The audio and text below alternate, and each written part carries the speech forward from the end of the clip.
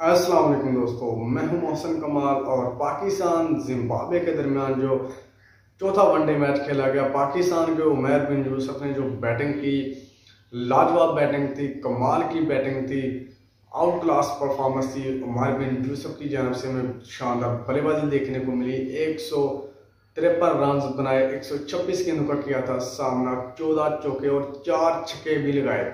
उमैर बिन यूसुफ ने जल्दी विकटें गिरने के बावजूद भी पाकिस्तान का जो स्कोर है, वो बहुत हद तक अच्छा बना दिया था। 295 रन पाकिस्तान ने बनाए, बहुत बड़ा टारगेट था। दो सौ छियानवे रन जिम्बाब्वे ने बनाने थे। और पाकिस्तान की जानब से कामरान गुलाम ने भी 55 रन बनाए 79 गेंदों का किया था। सामना और चौकों की बात करें तो चार चौके भी लगाए कामरान गुलाम ने पाकिस्तान के और बल्लेबाजों की बात करें तो कासम अक्रम ने 16 रन बनाए थे। हुसैन तलत एक बार फिर नाकाम हुए बहुत बड़ा नाम है पाकिस्तान का। पीएसएल खेलते हैं, पाकिस्तान के लिए इंटरनेशनल क्रिकेट में भी नुमाइंदगी कर चुके हैं पाकिस्तान के लिए। सिर्फ़ पाँच रन बना सके और मुसलसल नाकाम हो रहे हैं जिम्बाब्वे के खिलाफ।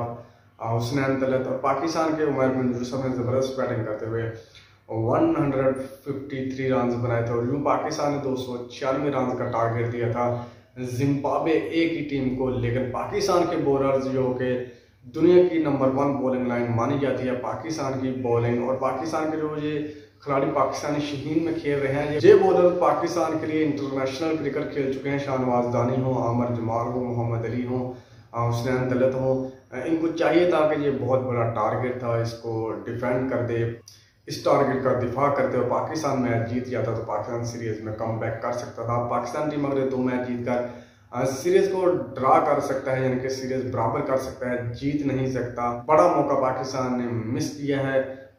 दो पहले मैच जीते जिम्बाब्वे ने, तीसरे में पाकिस्तान ने कामयाबी हासिल की और फिर जो चौथा ओडी मैच खेला गया, Pakistan Shaheen versus Zimbabwe. A के दरमियान उसमें भी जिम्बाब्वे ने शानदार कारकर्दगी से ये मैच जीत लिया। जिम्बाब्वे के बल्लेबाजों की बात करें तो मुंबई ने बनाए थे एक सौ ग्यारह रन शानदार बल्लेबाजी की। उसके बाद अरबाइन ने 160 रन की धुआंधार बल्लेबाजी की, जिसकी वजह से वो मैच भी जीत गए और पाकिस्तान के बॉलर्स पूरी तरह नाकाम हुए। जिम्बाब्वे ए के खिलाफ मैच में अच्छी बॉलिंग ना करवा सके। मोहम्मद अली ने 10 ओवर करवाए, छियालीस रन दिए विकेट हासिल ना कर सके। शाहनवाज दानी ने नौ इशारिया तीन ओवर करवाए और साठ रन दिए, दो विकेटें हासिल की। अमर जमाल ने करवाए दस ओवर सैंतालीस रन दिए और एक विकेट हासिल की। शाहनवाज दानी तजर्बाकार बॉलर हैं। दो विकटें ज़रूर हासिल की, लेकिन बड़ी देर हो गई थी तब तक जिम्बाब्वे फतह के बिल्कुल करीब पहुँच चुका था और जिम्बाब्वे ने शानदार कारकर्दगी से इस मैच को जीत कर सीरीज़ में तीन एक से बरतरी हासिल कर लिया। पाकिस्तान टीम को दो मैच जीत कर सीरीज़ को बराबर करने की कोशिश करना होगी। दोस्तों, वीडियो अच्छी लगी है तो वीडियो को लाइक और चैनल को सब्सक्राइब ज़रूर कीजिएगा। अल्लाह हाफिज़।